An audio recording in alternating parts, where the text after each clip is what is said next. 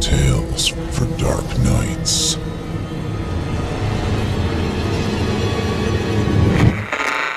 Want to make sure you never miss a Chilling Tales for Dark Nights video again? Be sure to subscribe and hit that bell to turn on notifications. The following program is a production of Chilling Entertainment and the creative team at Chilling Tales for Dark Nights, and a proud member of the Simply Scary Podcast Network. Visit simplyscarypodcast.com to learn more about this and our other weekly storytelling programs. And become a patron today to show your support and get instant access to our extensive archive of downloadable ad free tales of terror. Thank you for listening and enjoy the show.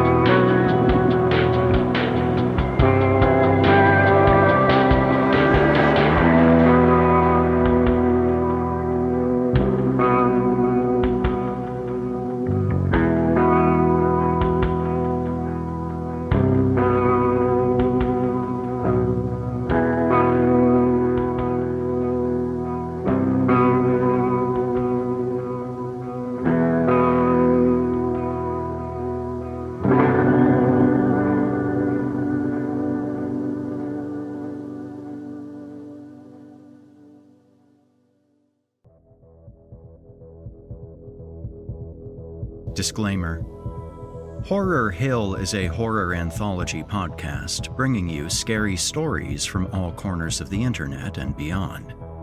As such, certain stories include content that some listeners might find offensive. In particular, tonight's story features multiple mentions of sexual assault. Listener discretion is advised.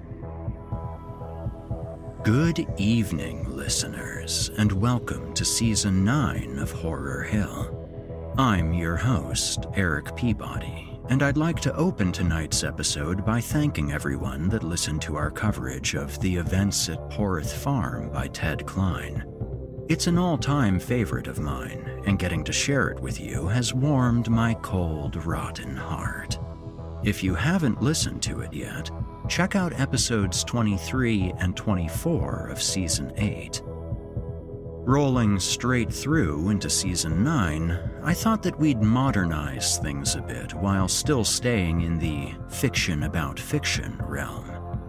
Instead of an English professor reading Gothic tales in the early 1970s, tonight's story is about a teenaged girl who writes online reviews for Goodreads. For those of you who aren't familiar with it, Goodreads is a site that lets users catalog their book libraries, write reviews, etc. Our heroine, Karen, is one of the most prolific reviewers on the site, focusing on a subgenre called monster erotica. After winning a free copy of a short story collection, Karen starts receiving increasingly insistent messages from its author, demanding that she review the book. Karen dismisses these as just being another interaction with another internet creep, but not every jerk online is content to just sit in their basement and send angry messages. This tale, written by J.R. Hamantaschen, is titled Soon Enough, This Will Essentially Be a True Story. You're listening to the standard edition of this program. If you'd like to help support Horror Hill and also remove these pesky ads, head over to chillingtalesfordarknights.com and click Patrons in the upper menu to sign up today. You'll get instant access to hundreds of ad free stories, and we can scale back some of our uh, less savory means of generating money for the show. By the way, you don't happen to still have all of your organs, do you?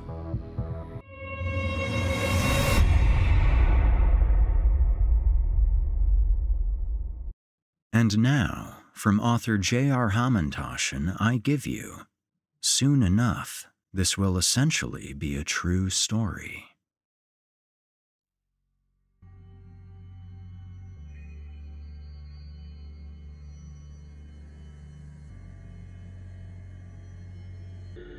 It was the easiest thing to do, so she did it. Click, and she was entered into another Goodreads giveaway. She'd entered about 10 giveaways in the last couple of minutes, just entering with nothing more than a click to win whatever seemed even marginally interesting, meaning something dark, something weird, something bizarre. Click, click, click. If anyone ever wrote a biography about her, they'd have to come up with different words for click. Here was a Penguin reissue of some Edgar Allan Poe stories, stories that were available for free online and that she already owned, but she didn't see any harm in entering the giveaway anyway.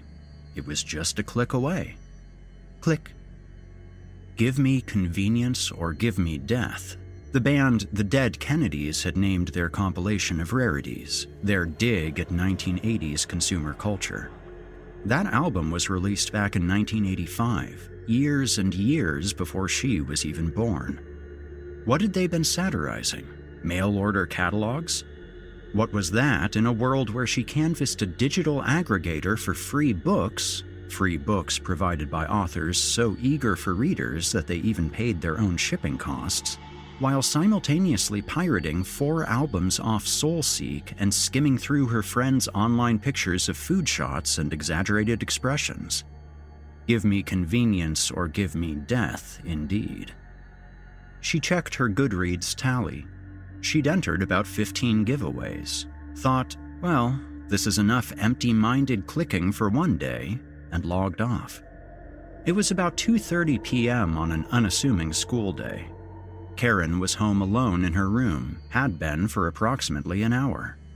Ah, the perks of being a high school senior.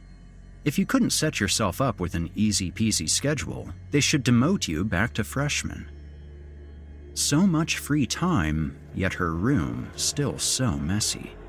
Maybe she'd spend her afternoon conquering Heap Mountain, as she and her mother dubbed the lump of clothes, accessories, books, and accumulated detritus that gathered around her bed. Her mother would be pleasantly surprised and impressed, and that would be her strongest reason for doing it. But still, she didn't. No reason why not. She should. She wanted to. But she didn't. Her rickety old phone buzzed. She checked the text. Yo yo, biatch, swinging by. It was Rose, her best friend and hetero life partner. Karen was impressed that Rose had bothered to spell out biatch, put in the little hyphen and everything.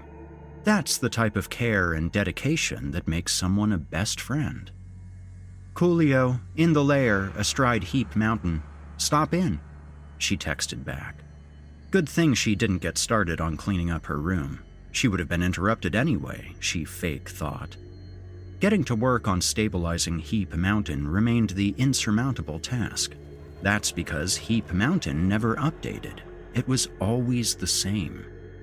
Maybe if cleaning incorporated clicking. She went on Songza for a dour but upbeat music mix, and on came Crawl by the Alkaline Trio. She bobbed along, keeping rhythm. She uploaded her just finished Goodreads review. It had been almost 48 hours since her last update. She was in the top 20 in the United States on Goodreads for her prolific and well liked reviews. Literally, the algorithm that ranked reviewers depended on how many people clicked like on her reviews. Yeah, top 20 reviewer, at 20th, she imagined Rose saying, something she'd probably said in the past. Still the top 20th, she imagined shooting back gleefully. She was damn impressed with herself. Top 20 for the United States was an achievement. There was a lot of competition. America created the online marketplace for attempts at attention getting. If she were in Latvia or something, she'd certainly be taking the number one spot. Hobbies were getting more and more niche. Posting online reviews on Goodreads was hers. She posted the review and closed the website, with the full knowledge that she'd be back online in about 10 minutes. Or one minute, who was she kidding? To see how many likes, tweets, and comments she'd amassed. Crawl played again. She set it on repeat. She was like that. She loved hearing the same thing, refreshing the same pages. Whatever controls the circuitry of satisfaction and pleasures, well, that was what got her off. 15 minutes, 5 refreshes, 11 individual comments, 14 likes, and 2 profile picture changes later, Rose arrived. Can't believe how strange it is to be anything at all. Karen sung along with Neutral Milk Hotel, another repeat favorite, as Rose came into the room. Hola, hola. Rose came to Karen's house to and fro as she pleased, essentially another family member. Damn, still good old Clutter Island in here, I see. You didn't lie. Yep, and still can't get Leonardo DiCaprio to sign on. Well, in his defense, you're no Scorsese. Not yet. Rose leaned in and looked at Karen's Goodreads page. Raped by the Raptor. She read the title of the book Karen had just reviewed off Karen's computer screen. Sounds like another Karen approved classic. Actually, it's Raped by the Reptar. Learn to read, biatch. It's Rugrats fanfiction porn. Rugrats is this old kid's cartoon. Jesus Lord, you keep sinking lower and lower, don't you? Damn, Karen, you never cease. Don't hate the player. Karen pointed her cursor over a comment that a fan had just left in the last minute or so and read the comment aloud. You sexy goth librarian, you, you never cease to amaze us. She turned to Rose. See, my fans agree with you. I never cease to amaze, and my fans are legion. Rose laughed. That's awesome. Great minds think alike. Serendipity, it must be. Karen replied to the comment, noting her friend Rose had just said the same thing, and clicked like on her own comment. Karen liked being called a sexy goth librarian. Goth librarian was not exactly the look she went for, but was somewhere in the wheelhouse. She didn't see herself as sexy. She instead focused on the 15 pounds or so she felt she could afford to lose. If only clicking was exercise and cookies and ice cream didn't taste so good. She had natural dark hair, which she kept pulled back. Well curated outfits of dark colors, tight fitting enough to suggest the chesty body underneath, which she knowingly accentuated with pendants or necklaces to lead the eyes to the fun parts. Her current profile picture was appropriately gothic and decked out for fall, the lower part of her face covered by red and orange crumpled leaves she held up for the camera, only her arch, sharp eyes, and angular lashes visible. And the picture showed off one of the best things about living in Rhode Island damn good fall foliage.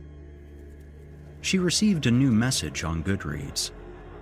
Mmm, why you hiding behind those leaves, lol? You're too pretty for that.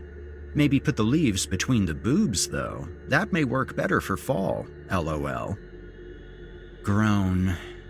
On a good week, half of the comments she received were sexualized come ons, always replete with the, What, me? LOLs, as if dropping an LOL or JK in a comment completely nullified sexual obnoxiousness.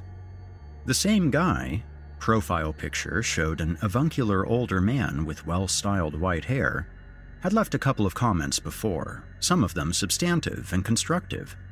She only responded to those worthwhile comments. Eh, she didn't want to ignore him and lose a follower, but still, eh. She oscillated about how to respond. Two more messages popped up. The first message was from the same avuncular old man, an apology of sorts. LOL, sorry, I didn't mean any offense, just ignore that. I'm an idiot sometimes. Phew, problem solved. No prob, she replied. The second message. Oh shit! She bellowed. She won a Goodreads lottery, which meant she'd get a free physical copy of the book she bid on. She usually only read physical books if she won them, With her reading interests, the books were usually free, or at most, 99 cents for a Kindle copy. Not many authors or publishing companies would bother to physically produce copies of the gems in her collection, which included such classics as Mounted by the Monster, the related but far more offensive Mounted by My Master, I, Horrorbot, Vampire Fuckfest, The Only Crosses We Respect are the ones that go inside us, and that beguiling story of star-crossed lovers, The Maiden and the Deer Gods. She actually did read some respectable fiction, nonfiction, and the like, but those reviews took longer to prepare, and the Goodreads metrics prized quantity. She absent mindedly ended up becoming the ascendant genre erotica reviewer on Goodreads. She was listed as a favorite reviewer on the Monster Erotica chat group, and every related review had a guaranteed fan base of at least 500 pairs of eyeballs. The competition was always nipping at her heels, churning out reviews that were barely more than clickbait gifs and look at me meta hipsterism. The genre she was reviewing, of course, was largely fatuous trash, but she made an effort to separate the wheat from the chaff. I mean, there's something to be said about trash done right.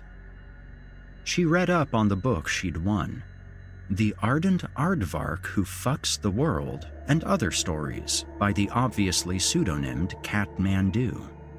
That was the whole title, which included the author's name for whatever reason, and literally, that was the author's nom de plume, obviously pseudonymed Katmandu.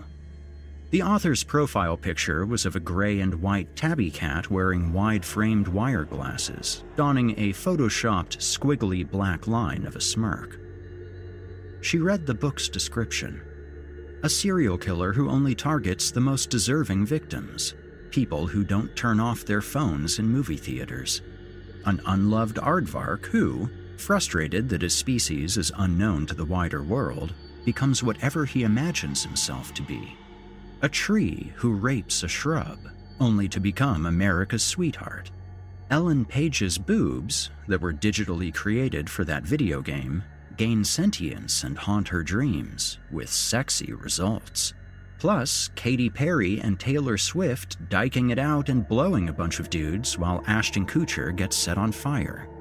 All this and more, finally in one place.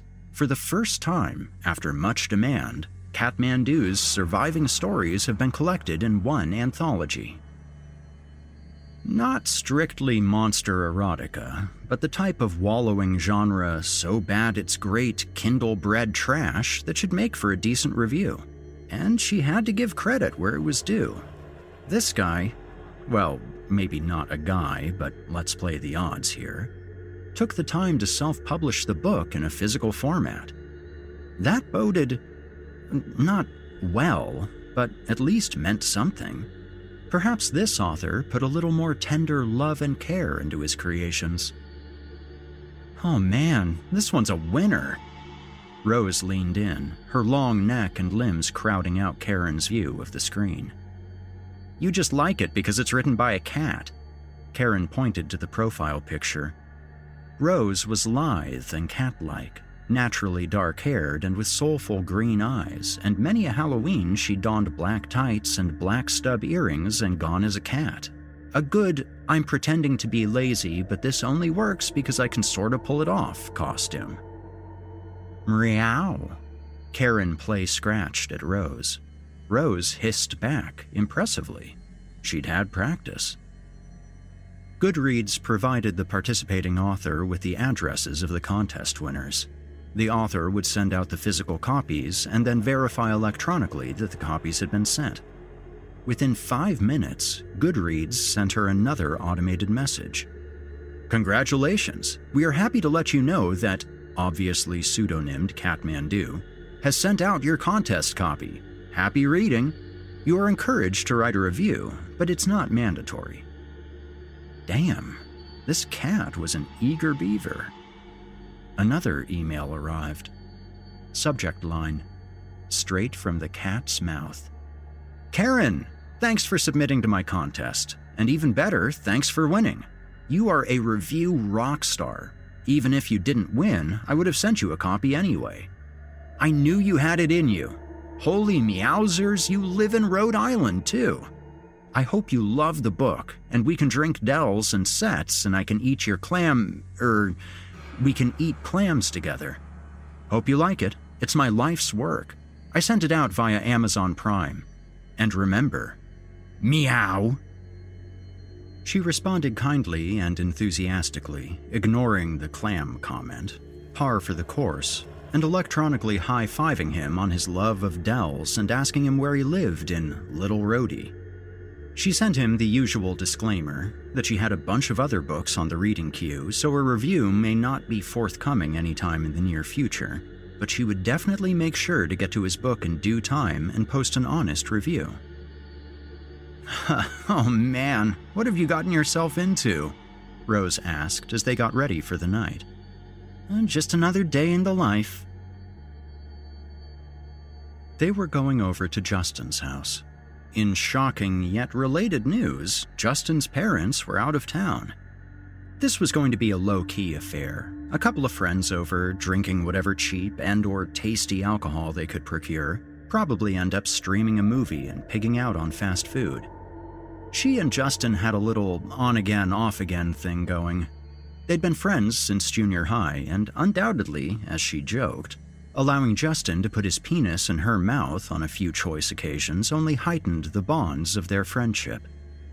He was sweet, and she suspected he was a little infatuated with her. Since guys are obsessed with their dicks, she reasoned, Justin may feel weirdly indebted to her, or maybe he would just have felt that way toward any girl who helped him satisfy that most incessant, perennial craving.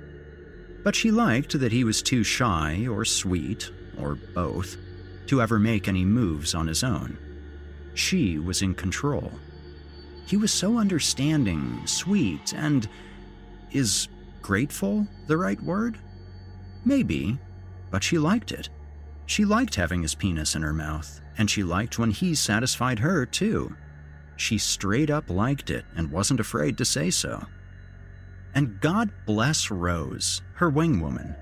If Karen could take an informal poll at school, she imagined most people would think Rose was the more sexually active of the two, probably because Rose just looked more sexual.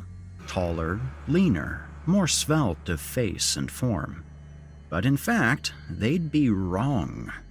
Rose had the sense of humor of a sailor, but the chasteness of a school chaperone. The most salacious thing she'd ever had in her mouth was a chili cheese dog. Funny, you can't win. Too much sexuality and you're a slut. Too little and you're a cock tease. Rose had been burned by guys who dated her a bit and then cast her off after she'd do nothing more than kiss and feel. Maybe they thought she didn't like them. Maybe their pride had been hurt. Who knows? Karen and Rose talked about this at length. They'd talked about everything at length, and Rose had no moral or religious objections to sex. And, appropriately, no morals or religion whatsoever, she'd once quipped, but just didn't have the desire to get embroiled in sexual high school politics and never found a guy worth the risk. Poor Rose. She was actually eager to experiment, to know and give pleasure, but these local scrubs weren't fitting the bill. Someday. After they'd gotten ready, which meant looking a bit more sexified than usual, but without doing anything that brought obvious attention to their efforts, they made their way downstairs. You want food? We got pizza left over from last night. Joan, Karen's mother, offered as they were making their way downstairs. The one set of stairs in the house ended across from the entrance to the kitchen. In other words, when you went down the stairs, the kitchen would be directly before you. You had to turn a left at the bottom of the stairs and turn the corner to head out the front door. If Joan needed to talk to Karen, she made sure to be centrally located in the kitchen. Whether Karen was coming or going to her room upstairs, she had to walk past the kitchen. Is that my Karen wearing perfume? Joan asked as she opened the refrigerator. It smells like flowers. You smell like flowers, not gravestones. At this, Rose doubled over with laughter. or something weird, but flowers. No, it isn't perfume. Mom, you know if that day ever comes, you'll be the first to know. And by the way, if you know of a gravestone perfume, then I don't need to tell you what I want for Christmas this year. You're not? Her mom came over and sniffed at her neck and hair while Rose laughed. You smell nice, though. Must be all the patchouli I bathe in. Must be, she said as she whipped Karen playfully with a dish rag. Ah, assaulted by my own mother! Rose, you're a witness. Oh, shush you, Joan continued, emptying out the fruit drawer. Are you sure you don't want to bring a piece of fruit or anything? You didn't eat yet. Eat something good, at least.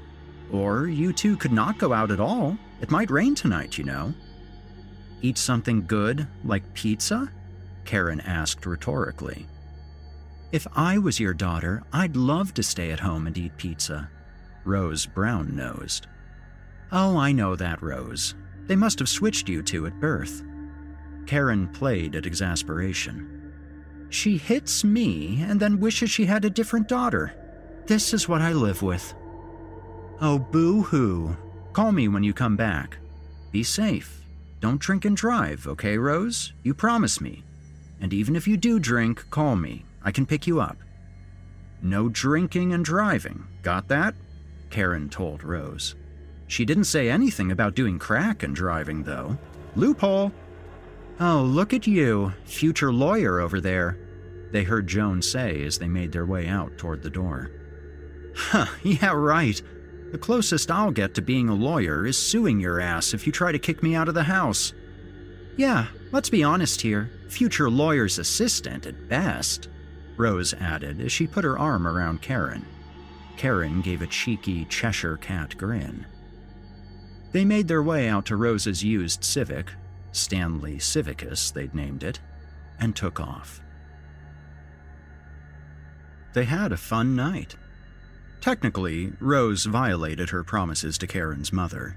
She both drank and smoked pot, although she only had one beer, purloined from Justin's parents, and only a couple tokes, but there was at least an hour gap between her indulgences and when she drove Karen home. Karen outdid her, smoked pot, and had a couple of mixed drinks, mixing together whatever was available. Some vodka ginger ales, why not?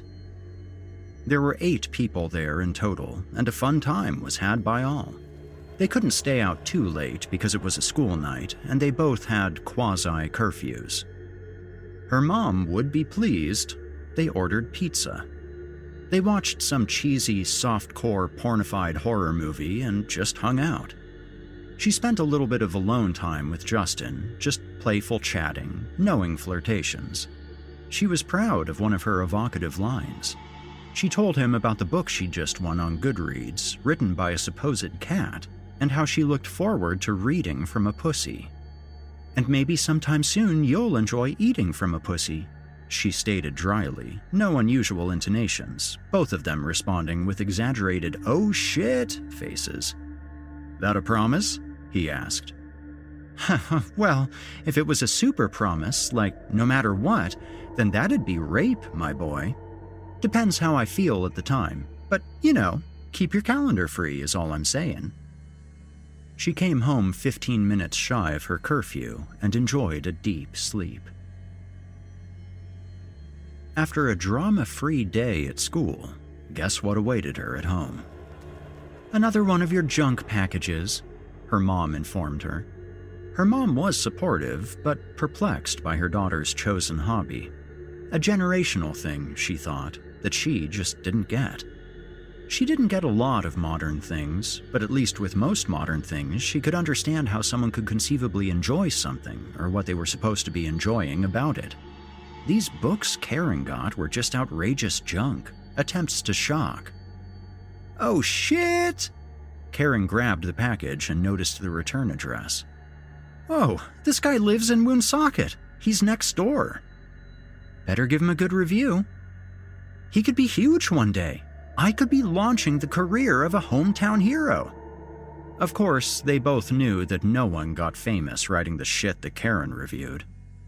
She opened the manila packaging, and what could she say? She was impressed. The book was a handsome and hefty trade paperback.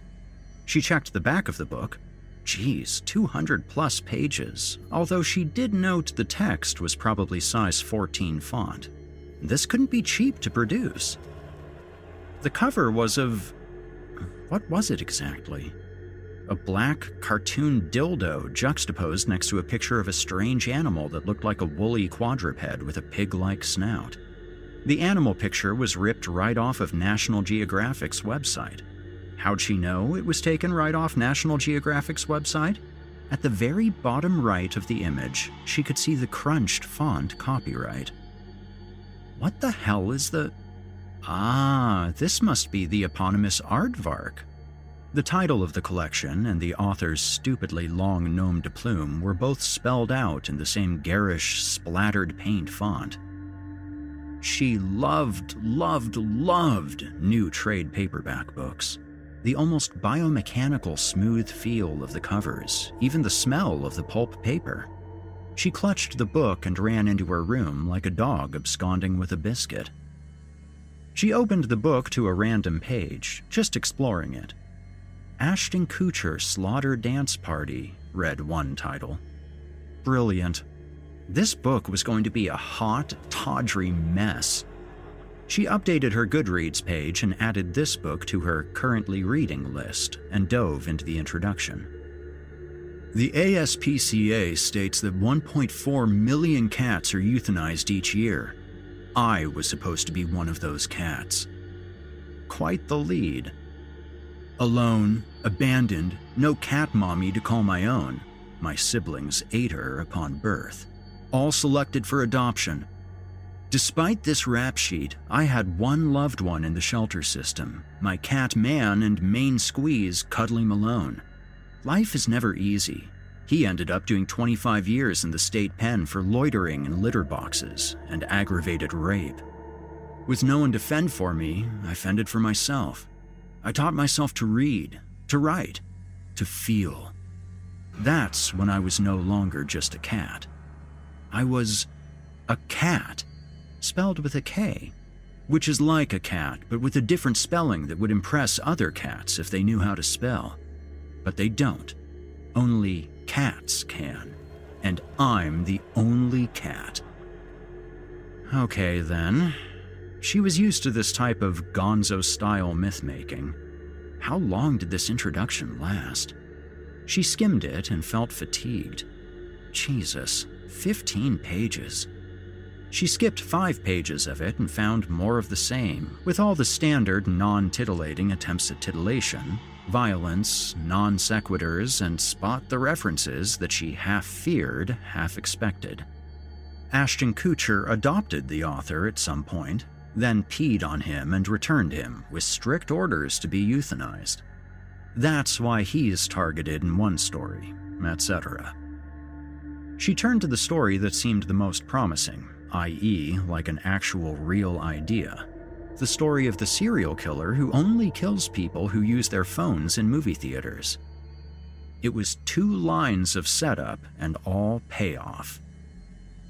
It was in some superhero movie. Does it even matter which one anymore? You texting whore. You don't think this money means something to me? What kind of fucking sociopath are you? I paid for these tickets. Do you really not realize how annoying that light is? Really, is that possible? Is that humanly fucking possible? Or do you just not care? Your thug boyfriend isn't here to protect you. He's gone to take a shit instead of listening to the shit coming out of your mouth, I thought as the knife went through the stupid cunt's throat rivulets of blood flying like my future ejaculate when I'd fantasize about this later with a toaster up my ass. I crushed her dainty fingers with my free hand, breaking her stupid fucking expensive nails too. I did a 360 around her neck with the knife like I was wrapping a Christmas present. I popped her head off like a pie top and put her beaming, blaring smartphone into the stump.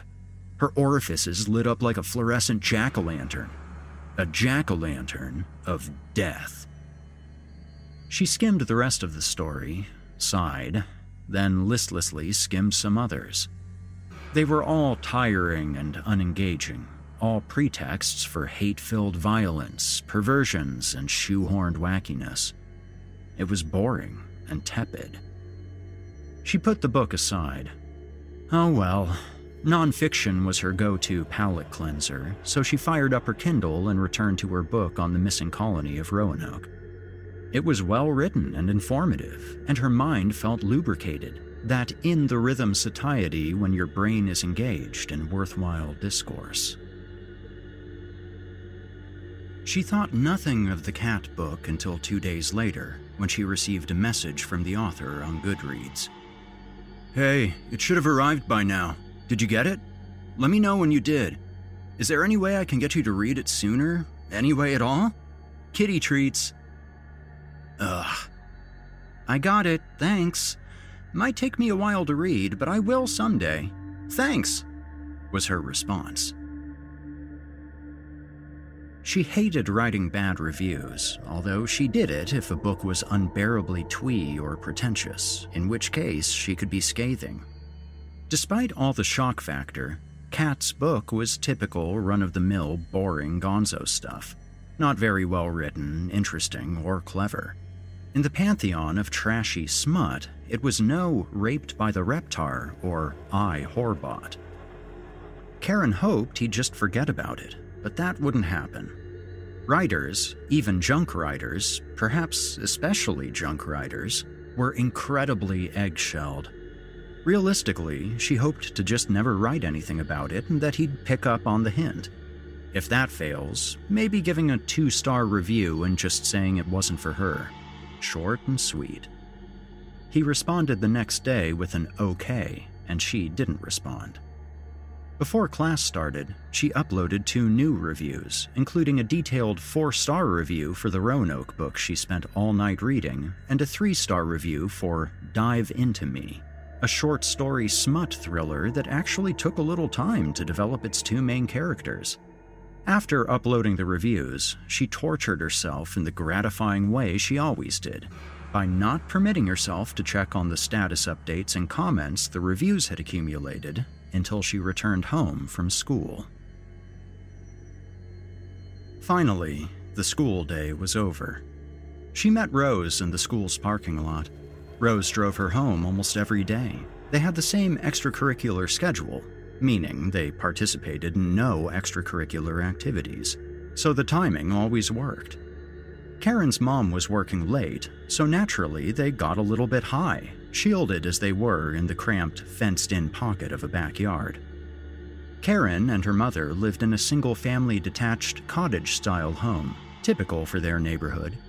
She called the neighborhood homes Snugsies, each a small, cute little house for a small, cute little family in the smallest, cutest state in the country. If either of her neighbors ever saw her sneaking in a little reefer with her friend, they never said anything to her mom about it, so she was thankful for that. She was respectful enough to be discreet about it, though. She had that going for her. Nice and pleasantly baked, well done, they called it, Karen and Rose moseyed in from outside, through the snugsy little kitchen, up the stairs, into her bedroom, the snuggiest room in the whole snuggy house. Snuggles, Karen said aloud, in reverie. What? Rose asked, eyes dimmed, feeling pleasure in nothing more than the act of speaking, the pleasure of existing. Check this out. Karen pulled up her Goodreads account. Rose checked it out. Uh, too many comments. Cannot process. Karen alighted both hands in victory. Oh shit! She'd racked up a bunch of comments and likes on her last review. She opened her inbox. Somehow, the message from Kathmandu was the one thing that jumped out at her. I take it no progress on the book yet? By the way, are you rich? Karen groaned loudly. Huh, I guess his book failed to deliver. Karen reached for the book in a stupor and tossed it over to Rose. Take it. You can ghost review it for me. Rose strained to read in Karen's half lit room. She read aloud from a passage. And I made sure to use the edge of my sharpened blade to pop out the clit, the juiciest and most delectable morsel. All was well, as I just ordered in a new shipment of cocktail sauce. Clits, the successful man's oysters. And that is enough of that, Karen said in a sing songy cadence. Yeah, definitely. Yikes. Fail. I mean, I don't think a cat could even use a knife. I know, that's the real problem with it, right? Why else do cats have claws? But seriously, it's all like that. True fail. Karen fired off a reply, saying something like, I'm the richest girl in my entire rich town, shoving my riches in everyone's face. I mean, who isn't jealous of the daughter of the overworked single mother who's always afraid of getting laid off from the hospital? I feed off that shit. Cower before me, mortals. Serve me my hamburger helper. And no, I didn't finish your book. Sorry, I just can't right now. Best of luck. Go Bruins, go Sox, the Rhode Island ones. She turned off the computer and chilled with her friend, which was all she could ask for. She woke up the next day fully rested. She changed most of her clothes but kept on the same black cat socks, just cuz. It wasn't until she checked Goodreads that she officially woke up. She was excited. She had eight messages. Except, all but one was from you know who. Okay, that's fine. I don't think you had to give me an attitude. I just felt like you had a rich girl attitude, is all. I think it's rude to accept a book and not review it as soon as possible, but it's okay. Just do it whenever. The other messages all tended toward indignation. BTW, I paid to send you that book out of my own pocket, not to make you feel bad, but it's the truth. I don't make any money doing this. I do it for the fans and for the love of it. People think it's all a joke, but it's not. I take this very seriously. How do you respond in the face of seven messages, most of them sent between midnight and 4 a.m.? Answer You don't. Ignore, bye bye. It never even occurred to her to conduct a deep dive of his profile page on Goodreads. The background of his profile page was overlaid with the same tabby cat as before, with the same gash of a Photoshop style smile. She scrolled down to see some of the recent posts. Another bitch ignored me. What you gonna do? Back under the cat house. Going out for the evening, started another post. Under the heading was a picture, shoulders visible, of him wearing a brown paper bag on his head that looked tightly soldered on. The bag reminded her of when she had to wrap textbooks in brown paper when she was in elementary school. There were drawn on angular black marker triangles for cat's ears and a roughly drawn black circle, a mini head for his head mask, with black rows of triangles, presumably to resemble chomping teeth, if you were a lenient parent of a particularly lazy and artistically untalented child. He was raising his arms, and from the color and appearance of his hands, she pictured a lean, wiry white man in his 30s. One other image actually made her do a double take. Most of his face was wrapped in sheer saran wrap, with him making a malevolent O face with just his front top and bottom teeth visible. The saran wrap added an alien viscosity to his appearance that was, given the intensity of his look, pretty damn frightening. She could see his brown eyes, his brown, longish hair, his thin brown eyebrows, his other dominating masculine features slightly protruding forehead, long neck, and pronounced Adam's apple. He was white and in shape. His face was even kinda cute, if taken out of all other context. With a free hand, he was pulling a tuft of his brown hair, viciously the angle, his face, his partially closed eyes, all made the distress plain to see. This was, uh, suffering for his art? Someone I really respected gave me a shitty review. Fucking all. Feel like shit now. Need to suffer through it and keep going. Read another post, which had some likes and semi literate comments encouraging him to not get too down and to keep persevering She didn't like looking at other reviews before she did her own, but since there was frankly no chance in hell she'd be reviewing this guy's book anytime soon, she allowed her curiosity to get the better of her. Shocking, largely confused and irritated one and two star reviews, with some surprisingly eloquent five star defenders lambasting the masses for not getting the satire or being too politically correct and squeamish. How can you not love a story where a dog version of Zooey Deschanel is the bad guy who goes by Zooey Deschanel? Seriously, people, get a sense of humor. It's satire. It's making fun of your superficiality, your obsession with celebrities, and taking it to its most outrageous extreme. So, it's okay to commodify female sexuality, to pretend to be a nation that hates violence, but glorifies badasses and superheroes? Well, this collection is brave enough to take it all to the extreme, to throw it right in your face. You can't look away. This is the underside of America. All the concealed psychosis laid out for all to see. Nowhere to hide. This is your principal furtively masturbating to the high school yearbook. This is your beloved father figure taking bribes. This is genius. Karen made one last attempt.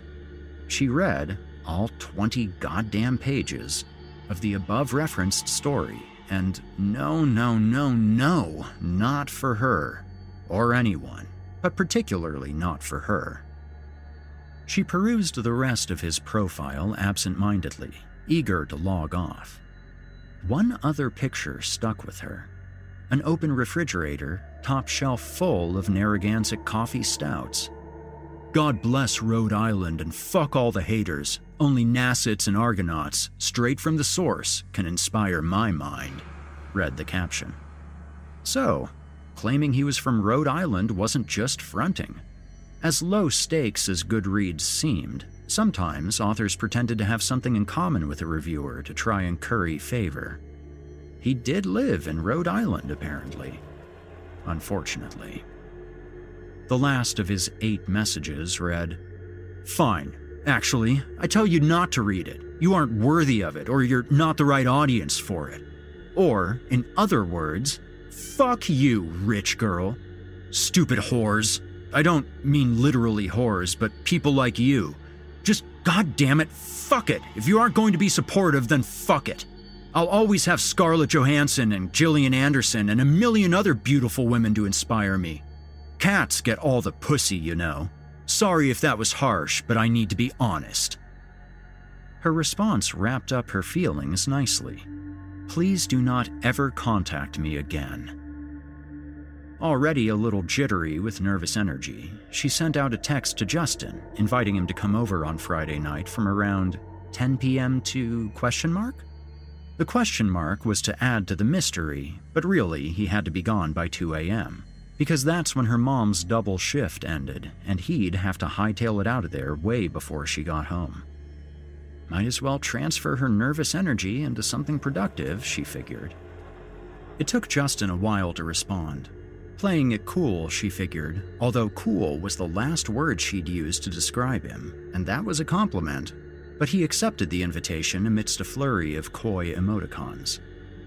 They were on, like Donkey Kong, she added unconsciously in Rose's voice, as if they were linked up telepathically. Get out of my mind! Two days away. Yeah. I'll make sure to shower that day, she texted him when he confirmed that he'd come over. Ew, he responded. But even if you don't, you know I still wub you. She sent back a blushing emoticon. They never said anything about love, Maybe that's why he went instead for the satiric misspelling. If she responded positively, maybe he'd work his way up to LUV, and more and more permutations until he got to the real thing. Maybe she should have stopped him. Maybe she would. She morally should. It was the right thing to do. She did like him a lot, but they had to be realistic, what with college and everything else right on the horizon. Maybe talk about it in person. Texts were not the medium for nuanced explorations of affection. But for now, she liked the inherent promise of protection and trust embedded beneath that unassuming, goofy text. She spent the next day blazing through short fiction and uploading some other reviews.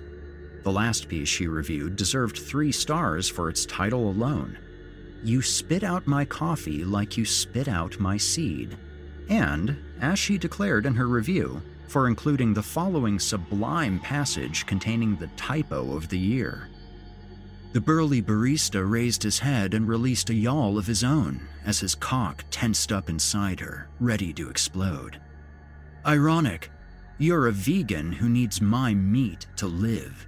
He teased Candy, the cute new hire. Mm hmm. I can't wait to unleash this new product. Small batch, limited release, only available here, he said, and pointed to his throbbing balls. His thick cock twitched inside her. She felt it contract and spurt hot liquid deep into her worm. Her worm! Classic.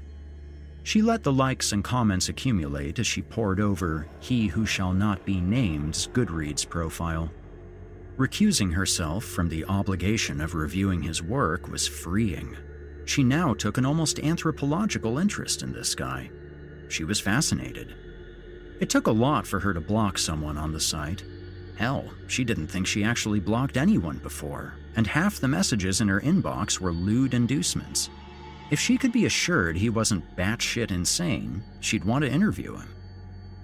His profile page was filled with so much rambling, so much confused anguish, juxtaposed and interspersed with these fucking cat and celebrity references. The fuckfest birth, death, and birth again of Kitty Perry began a recent blog post of his that caused her eyes to glaze over. Jesus, what a sordid little world she stepped into. Kathmandu evidently had a particularly nasty streak of engaging in vindictive flame wars with hostile reviewers, which perhaps accounted for the downtick in takers for his collection. She saw another online contest of his offering three copies of his collection with only 38 current bidders. Holy shit, Rose said. It was Friday around 4 p.m., and Karen and Rose were chilling, planning on grabbing dinner and chatting about Karen's night to come. Rose was surfing the Psycho's Goodread page. I am fascinated. I want to subscribe to his newsletter. He is crazy. He's a work of art. If a car crash could turn into a human being and write, it'd be him. If he's obsessed with cats, why is the book named after an aardvark? I never read enough to find out. My loss. I imagine there's some stupid coda or postscript buried in the back. Something like, Ha ha, you stupid faggot, you read all this and there's not even an aardvark story. Some things should just remain mysteries. I'm borrowing this. She flipped through the book, put it in her school bag, and returned to his profile page.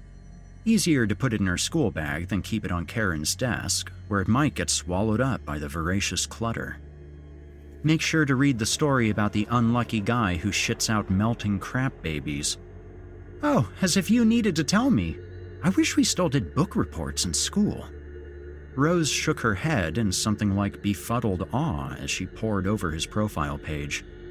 Is there a way to get access to his Goodreads page without actually signing up for Goodreads? I'll admit it, I'm hooked. He actually might be cute. Or cute ish. Hard to tell below all the crazy. He promises a big announcement tonight. I'm not embarrassed to admit I'll probably look online to see what it is. Okay, so maybe I'm a little embarrassed. I'm sure I'll be blocking you from Goodreads soon, Sally Stalker. Come on, let's go. They were going out to Rizzo's Fine Italian, about 20 minutes away, which, despite the chintzy name, was actually pretty good. Are you going to wear that tonight? Rose asked, with a trace of friendly skepticism. Karen wasn't one to get insecure, especially not about fashion, but she wasn't a robot, damn it. What's wrong with this? She wore a tight fitting, soft black sweater with a singular, oversized button at the top as a flourish, paired with black skinny jeans. I think you'll find it hot, tight fitting. She leaned in, mock seductively. Should I have more décolletage? She pronounced in a husky sotto voice. He's seen my boobs before. He'll want to unwrap them in this. Don't deny him his fun. No, you crazy person, Rose spoke as they made their way from Karen's room down to the living room toward the door. You wore that shirt this week. I remember it, you slob. Aren't you trying to get sorta laid tonight? Up your game. Joan had already left earlier this afternoon for her double shift, so they were free to profane and slut talk all night. She shrugged. Eh, he's a guy. I doubt he noticed. Shit, I don't even remember. She wouldn't admit it now, but she resolved to change when she got home. Rizzo's was in fine form that day. Karen got the penne vodka, which always sounded fancy but totally isn't. Rose got the veal cutlet. You heartless bitch, Karen teased. And, as Karen was prone to saying, a good time was had by all. It was around 8:30 p.m. when they got back to Karen's house. She wished she'd left the light on. She always hated returning to an entirely darkened home. She was glad Rose was still with her, even though, of course, she'd have to skedaddle soon. They went into the house and turned on all the lights. The old home groaned. All its organs hissed to life as Karen adjusted the temperature. So, do you want me to leave now for your little date? Does it take some time to prime your vagina up or something? Just blowing the dust off, easy peasy. Ha. Karen mock dusted her shoulder. I think it's probably more like, Rose began, and blew hard on one hand while using the other hand to convey massive amounts of dust flying up into the atmosphere. Karen laughed, said, Yeah, right, and then there was a brief silence. Karen, for some reason, felt a twinge of sadness, something about the dark quietude of autumn. She was so over this cold weather bullshit. Everything looked so sparse and dead. She didn't admit this much, but she hated being alone, especially when she was waiting for something to happen. The night had a way of settling uncomfortably upon her. She was glad she wasn't alone. Now, Rose, it's you. You stay. If it was anyone else, I'd tell him to leave, but you. Come on, Rose, you. You can stay. Stay until like 9:45. Psych me up. She thought about asking what the rest of Rose's night might have in store, but didn't. Rose plopped down on the living room couch, feet up on the ottoman. Karen wanted to pass this off as nonchalantly as possible, so as not to give Rose the satisfaction. So I'm gonna go upstairs for a couple minutes. To change? Yes, you bitch, to change. Are you happy? Ecstatic. With that, Rose pivoted her feet from the ottoman and took up the whole couch. It was a small couch, only intended for two, after all, and Rose's long legs peeked over the side. She whipped out the damned book and adjusted the light behind her. Take your time. This'll keep me company. Rose held the book before her with outstretched arms and gave the book a deep, sinister voice jostling and spinning it as if it was possessed, as if its demonic voice was so powerful it caused the whole book to quake. Wahahaha, fear me, Karen, fear me. Cute. Have fun with that. Any suggestions, by the way, on what I should wear? Your purple dress that shows off your rack. Noted. That dress had a funky odor to it that needed to be addressed. Probably a pass. Karen made her way upstairs to her bedroom and looked at herself in the mirror. Hmm. She liked the way she looked in tight sweaters. Goth librarian. Hmm, maybe just a different sweater? She was something of a sweater head. She checked her phone to see if there were any messages. Nope.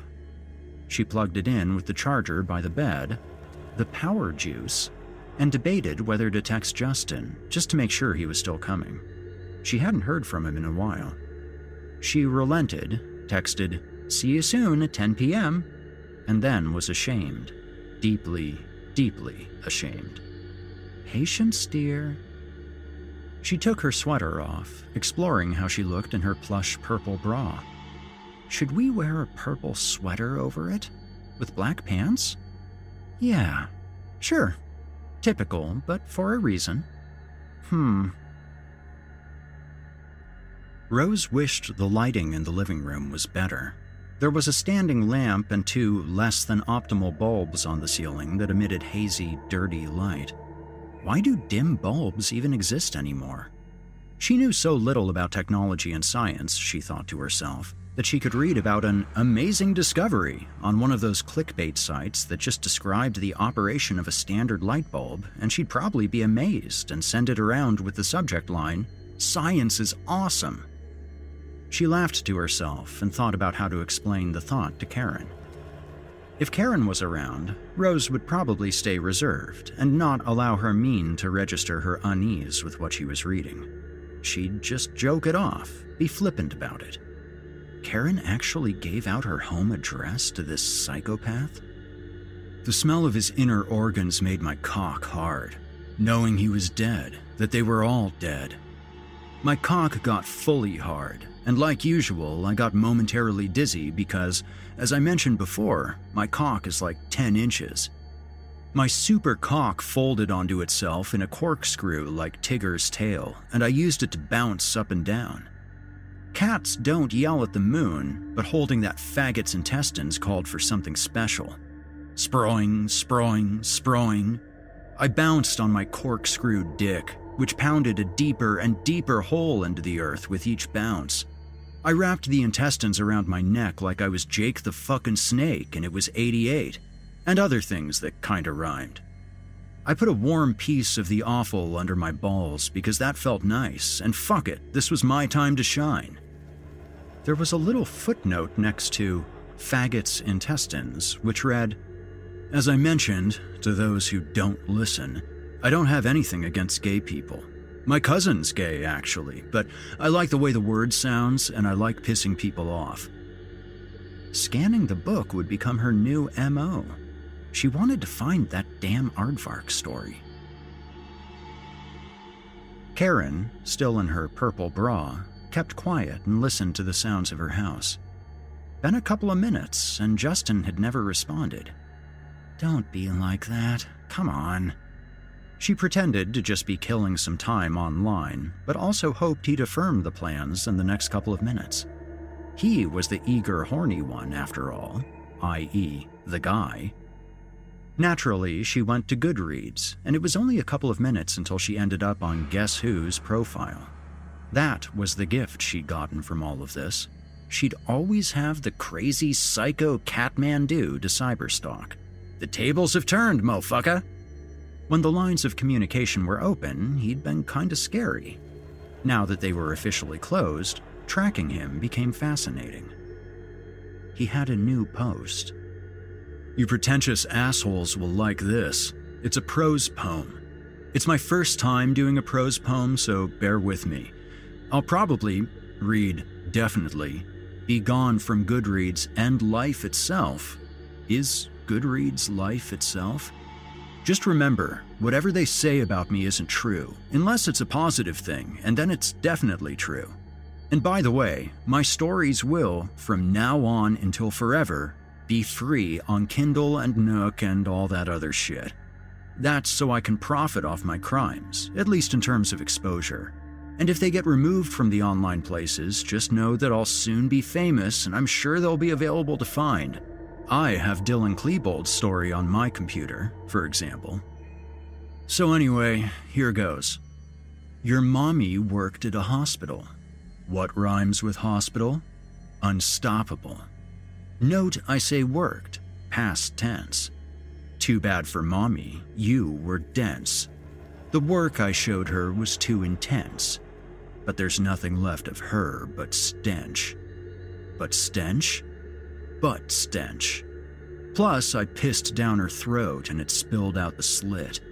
Mommy said she loved you. And there was a picture of him, this time in a flinty matte cardboard mask with holes cut out for the eyes. She could practically see the double duty rubber band around the back of his head which held up the mask. A dot nose with three curved lines on each side for whiskers and a frenetic O of a mouth were drawn on in what looked like blue pen. She could see two blue triangular shapes on his head. Ears, she presumed. It was obviously a selfie.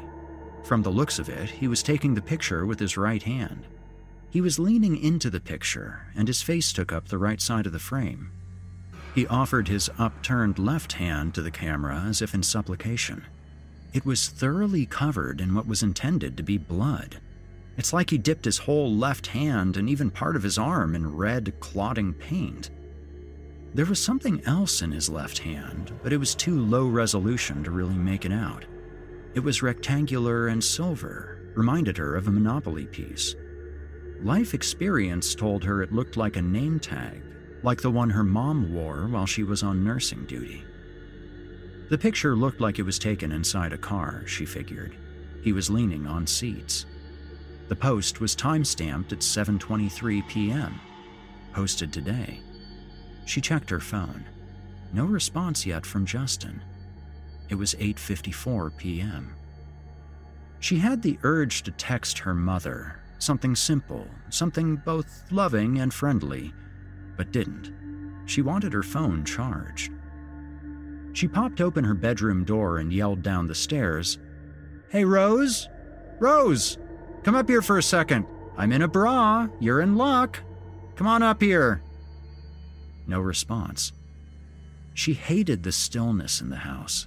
She moved and shifted just to feel some activity, get her blood moving, as if her heart wasn't already beating out of her chest and she was doing her best to ignore it. Hey, Rose! She made her way downstairs without turning the corner. She peeked around the corner because she was still in her bra, even though she had no shame about it whatsoever and usually couldn't care less.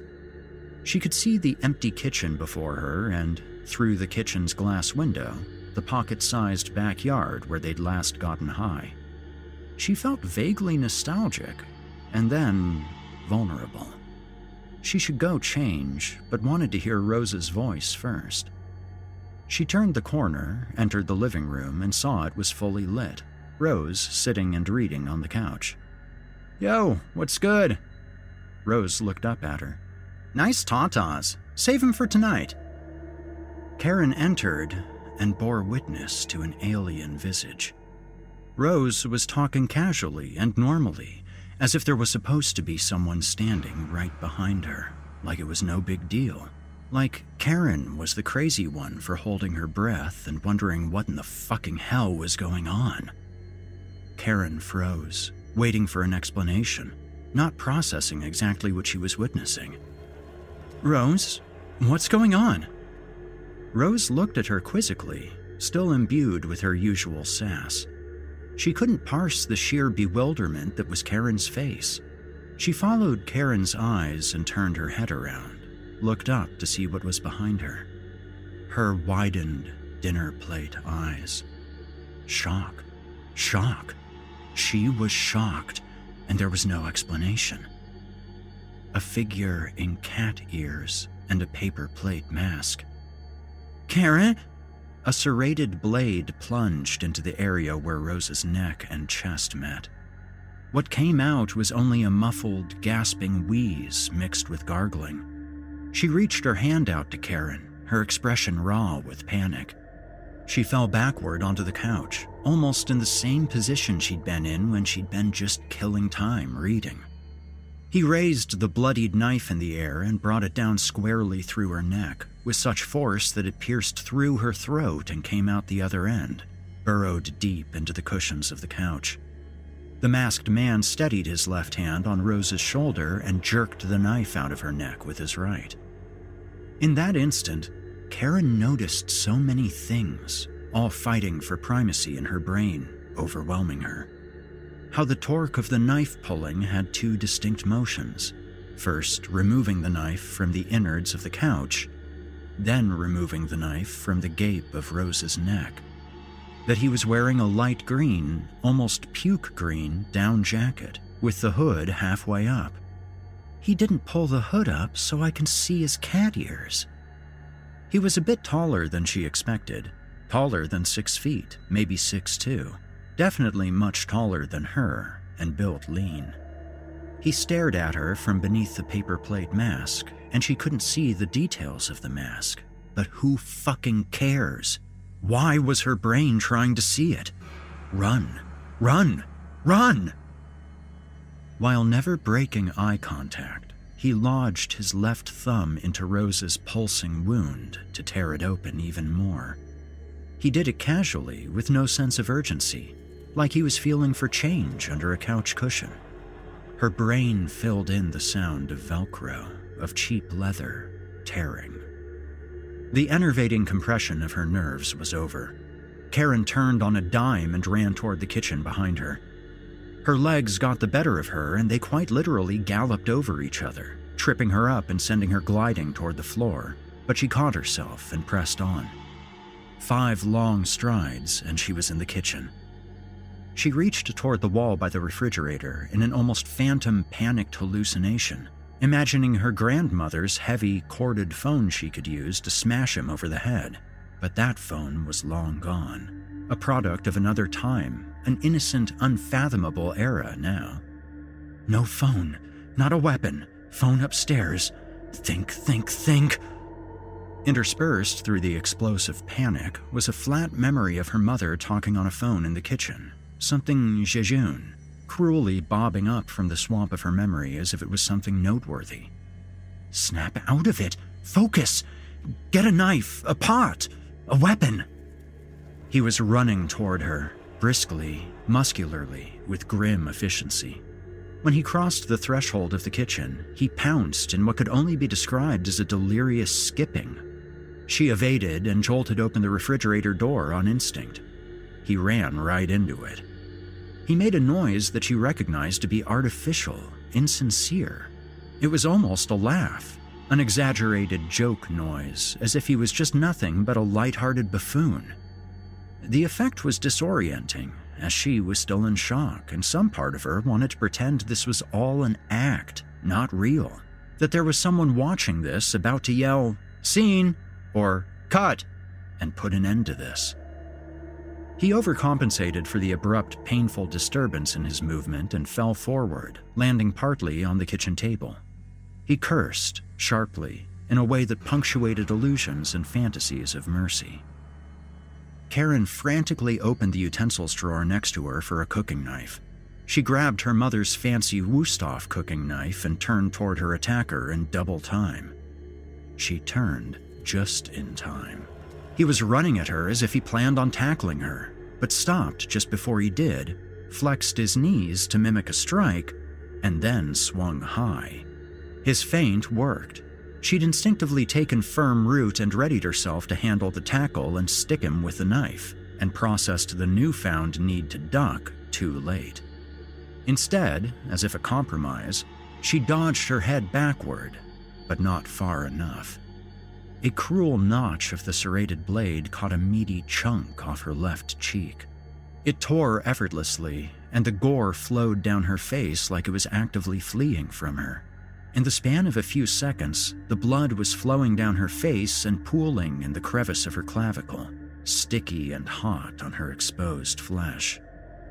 His left palm pawed at her left cheek sharply. His knife careened back toward her face in a backward slash. She ducked and thrust her hand forward, stabbing with the knife, which, thank God, her mother had always kept sharp. Mother, mother, dead mother, don't let the knife go dull on the pots and pans. And he was quick. Like a cat, quick like a cat. She wasn't sure how he'd parried the blows, but he had. She slid back to gain some distance from him. They stood off from each other, him pivoting and feinting, her eyes locked on his movements, both holding their weapons in their right hands. He held his knife firmly, resolutely. Her hand was too choked up on the handle. Ludicrously, she copied his knife holding, intuiting that he knew more about this than she. They were only a few steps apart, or perhaps one hard lunge. Her entire body was an electrified pole of nerves, squaring off, and just before he made a decisive move toward her, she reached her free left hand behind her, felt a pot, and launched it at his head. She was a good throw, and if he hadn't ducked, it would have conked him square on the head. As he ducked, she bolted past him. God, let Rose be alive and be here to help me kill him! But she knew, just knew, that there no longer was a rose, just a sticky, long lump in shape on the couch. Upstairs to phone, lock the door, call police, run straight out the door, run to the neighbors, get help! Rocketed through her brain in the short span of her sprinting. The stairs were closer, just outside the kitchen, so she ran up them in galloping leaps without thinking, on instinct, no time for consideration. She was halfway up the stairs when it seemed as if gravity itself upended her. She fell hard on her chin. He had caught her by the foot and pulled. All she thought as she fell was, Please don't let me kill myself with my own knife. But she didn't. It remained under her control in her right hand, which she'd intuitively extended away from her body. She turned to kick, and the leverage was perfect. She kicked him, crunch, directly on the bridge of the mask's nose. He was caught off balance and rocketed through the air down the length of the stairs, landing squarely on his back without hitting a single stair to break his fall. Please, God, let him land on his own knife and impale himself. She thought as she turned and ran up to her room, slammed the door, and locked it. It only had one lock, one of those doorknob locks that prevented the knob from turning. She pushed her desk, computer and all, to add heft to the locked door. She put her dresser on the pile too, all her junk. Locked door, desk, dresser, heap mountain. He couldn't possibly hack through all that, force that all out of his way. The phone. Where's my phone? She felt in a panic for her phone cord in the wall and followed it to its end. No phone. Must have fallen off in the scramble, swallowed by the great heap. By some miracle of heaven, her lizard brain detected a sharp bluish light under the mass by her locked door, forced her toward the object, and yes, it was her phone. It was already on. She unlocked it and dialed 911. I'm calling the cops, you fucking. you fucking maniac! She yelled without thinking. Maybe he didn't know you were in your room and you just gave it away, she thought in a half second of fear, but his voice from the hallway made it a moot point. You were already in a bra for me! You were ready for me! His voice was high pitched and squeaky, a nightmare Mickey Mouse. Nuts for you! I'm going to fuck your dead friend and leave! Bye bye! Don't write! Help me! There's a murderer in my house. He has a knife, and he killed my friend and my mother, and he's trying to kill me. She spoke urgently but coherently to the operator on the other end of the line. She gave her address, the most important information she knew to give. Again and again, she gave her address. Help was a few minutes away. It was a turning point for her, and she fought the buildup of mucus and tears. Help was on the way. Help was on the way. She put on her purple sweater, and the moment it took to do that was agony. She made the dispatcher keep talking, couldn't pry herself from the sound of salvation for even the moment it took her to put on the sweater. Her sweater being on felt symbolic relief, comfort. Boyfriend is here! She heard from the hallway, again in that insane nightmare parody of what a crazed Mickey Mouse might sound like. This time, there was a little strain to the impersonation. There was a bit of an underlying baritone, what was probably closer to his regular voice, maybe for effect, maybe for volume. He course corrected in what he said next. I can't wait to meet him, he said in a yippy skippy screech that could break glass. Still on the phone, she opened her blinds and looked outside. There was a car, headlights on, pulling into her driveway. She now realized the red flashing light of her phone, which signaled she'd received a text message, but she didn't dare do anything to disconnect herself from 911. She opened the window inartfully. Something about the cool night air made her feel sick. She almost threw up, but held her composure. It was Justin. He was still in his car. The top floor of her house wasn't too far off the ground, and she could see him perfectly fine. There was Justin, waiting in the driver's seat, maybe tapping the steering wheel impatiently, maybe consternation across his face. No way to tell. Intuition filled in the visual lapses. He was definitely reaching for something, probably his cell phone, to call her. She waved her hands and yelled, Go, Justin! Get out of here! Run! Get out of here! She banged loudly on the top interior of her window. At no point did she contemplate leaving the sanctity of her boarded up bedroom. That would be suicide, tempting fate. Please hear me, please hear me. She continued banging and yelling. Please hear me, please hear me. Justin, drive! Get help! Get out of here! There was pounding, a tilting almost, of noise in the hallway behind her. Something or someone running at full speed. No, Justin, please, God, don't come in here. But no, it wasn't him. He was still in the car. She tucked the thought away. The window was now raised all the way. She made a funnel with her hands, still holding the knife, which she kept jutted outward away from her body, and yelled with all her might Justin!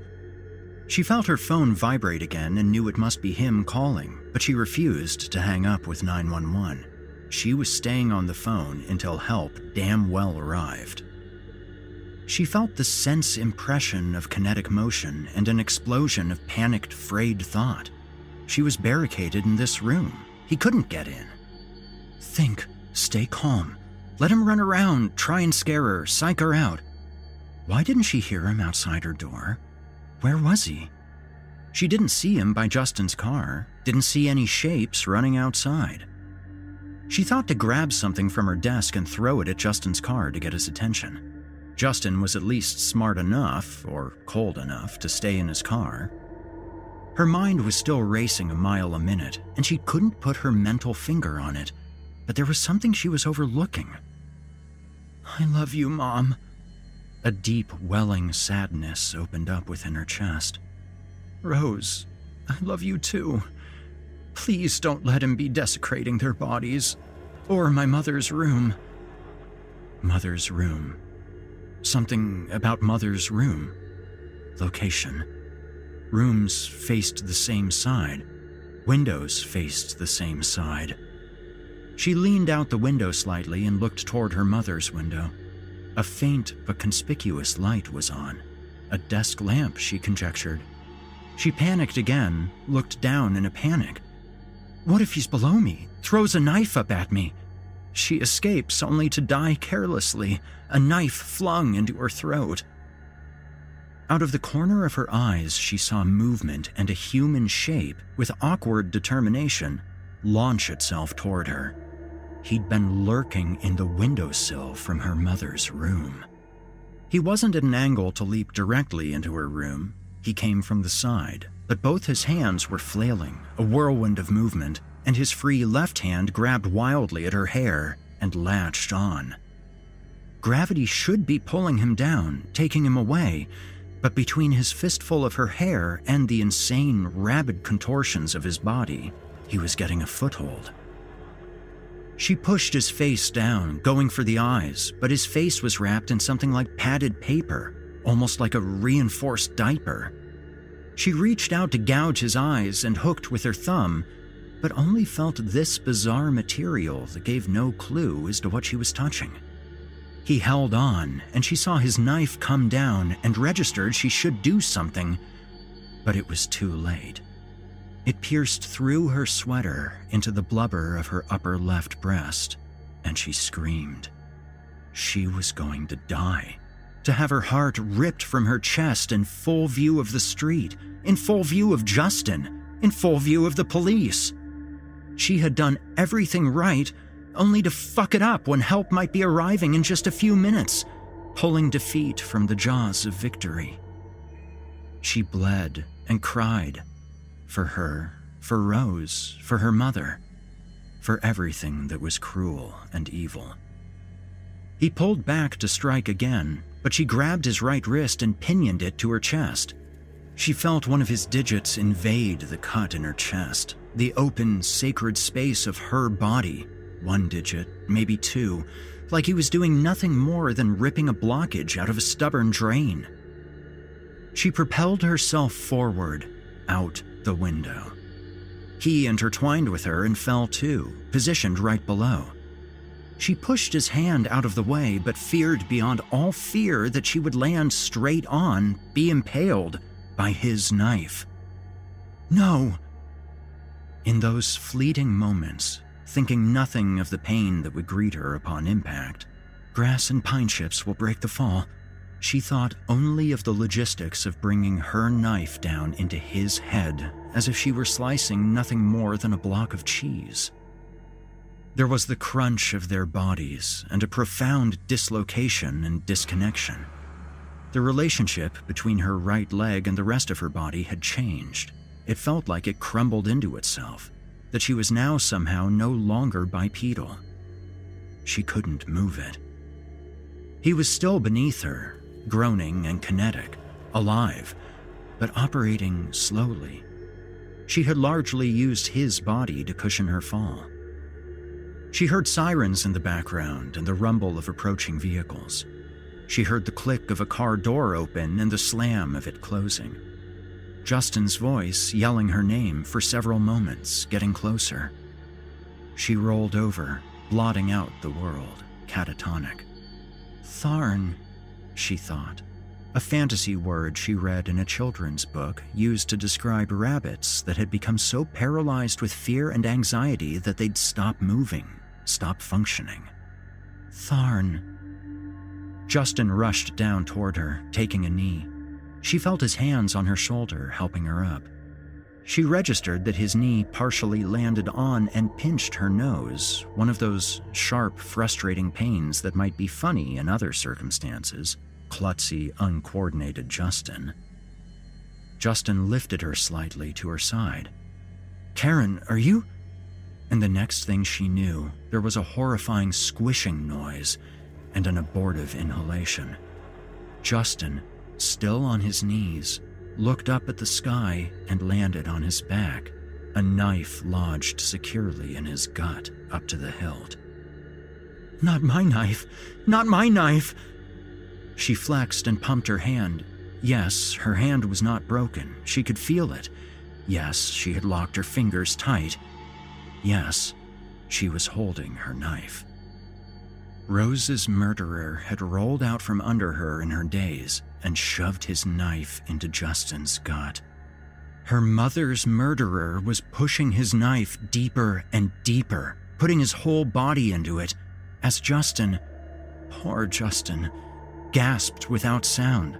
The only sound, the barely perceptible wet suction of Justin's gut wound being torn further open. She screamed, lunged, grabbed the psycho's shoulder and twisted him around, where he sprawled onto the ground before her. Her probing fingers felt a wetness that she knew came from his body, from an injury he must have sustained from the fall. Nothing. That would be nothing. A paper cut. Nothing compared to what she had planned for him. She was screaming. She thrust the knife from behind her shoulder, stabbing down, down, down into her tormentor's face, pushing him down, down, down, down into hell. The blade went straight through the waxy, padded paper covering his face. She stabbed again, and again, and again. The tip of her knife intuited a slit for eyes, and she took the blade by the hilt, steady with both hands, and raised it to the sky, malevolent thoughts of how the Aztecs ripped out human hearts, and brought the sharp blade straight through his eye, straight through his head, into the yielding earth. She stopped only because the knife was stuck, a railroad spike. Karen folded upon herself, passing out, worrying crazy things about her vanity, being cold and only a bra. Then, before losing consciousness, remembering she was wearing a sweater. She wanted to reach out to Justin, touch him, help him, but she couldn't. Tharn. There was a great rushing of bodies, swarming and sirens, and she didn't exactly pass out, but was somewhere else when she was put onto a stretcher and lifted like soft magic into the back of an ambulance. The following months were not a blur. No, that wasn't right. How to describe it? It's like she'd been placed on a gentle raft bobbing down a slow moving but implacable river. Where she'd end up, she didn't know. How she ended up there, she couldn't conceive of. Where she had come from, the story of her bygone days, she could still see dimly, but each day the reality of her new situation became less and less deniable. She held on to her memories of her mother, her memories of Rose, and amplified them, magnified them a million times, took intentional chunks of time to do nothing but think of them as full, important, sacred human beings, mythic totems almost. It turned out that neither she nor Rose had thought to lock the front door, a fact mentioned ad nauseum by anonymous social media commentators. But why would she? It was a safe neighborhood. People make mistakes. God, she'd imbibed the social media discussion threads so thoroughly that she replayed them in her daydreams. Her injuries were relatively minor. She'd fractured her right leg jumping out the window and was left with two deep scars, one on her breast and the other, the more garish scar, on her cheek. Quite the badass, she imagined Rose would say. She hated the scar because it reminded her of nothing but abject cruelty. The serrated crocodile's teeth of that knife left her cheek ridged, looking like plowed earth. It served no purpose other than to disfigure and destroy. Justin recovered relatively well. He too had a ghastly scar, though it always remained hidden under whatever he wore. He did, however, walk with an almost truncated gait and had to reconcile himself to a host of abdominal and intestinal problems. She and Justin kept in touch, but rarely saw each other for reasons they never fully explored. Although to Karen, the mention of his name was concomitant with flooding waves of shame, guilt, and anguish, and no doubt the sentiment was mutual.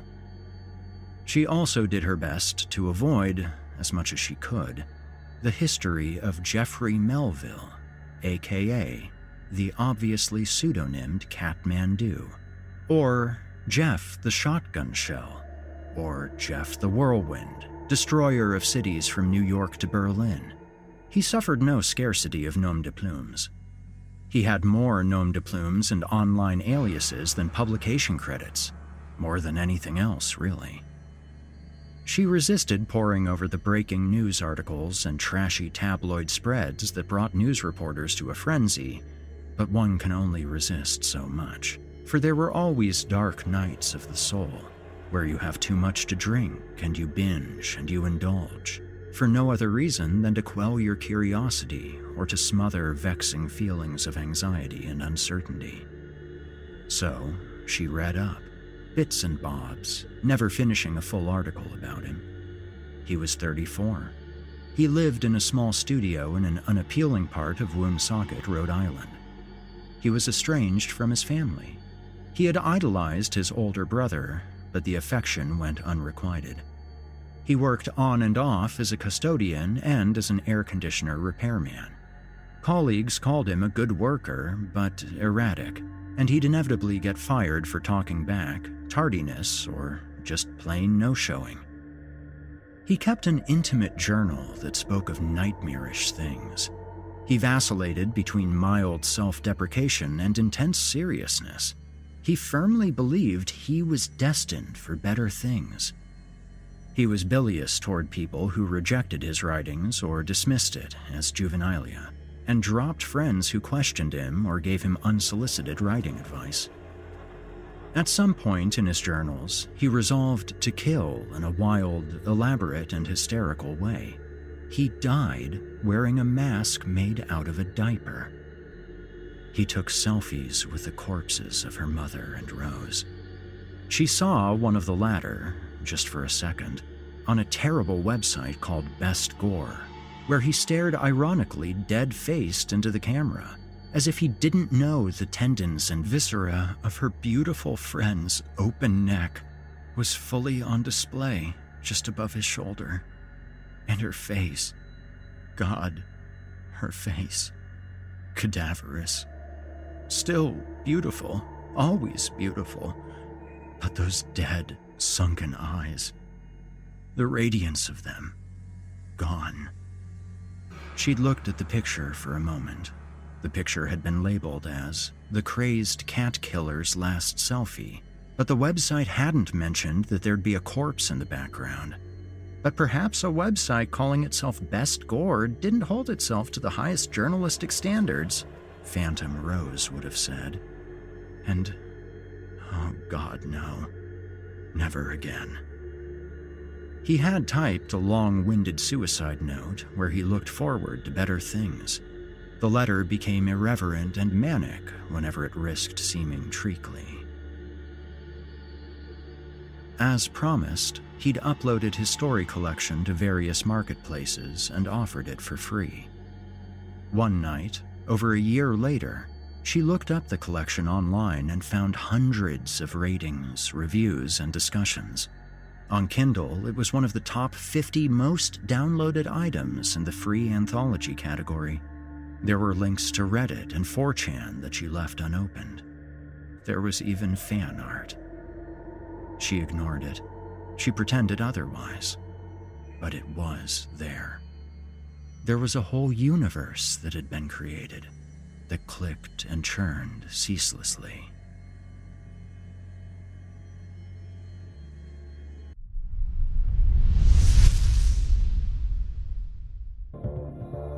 You've been listening to Soon Enough, This Will Essentially Be a True Story by J.R. Hamantaschen.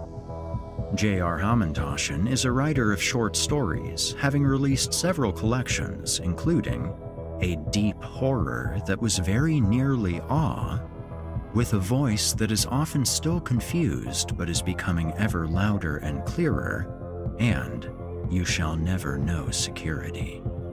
J.R. also co hosts a horror podcast called The Horror of Nachos and Hamantaschen.